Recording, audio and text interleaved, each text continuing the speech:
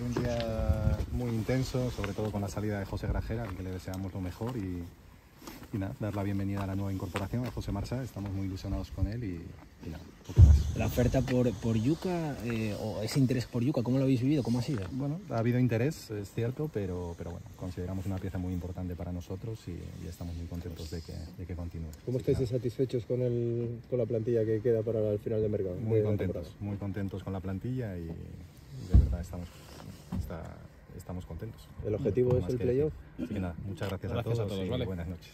Mañana más.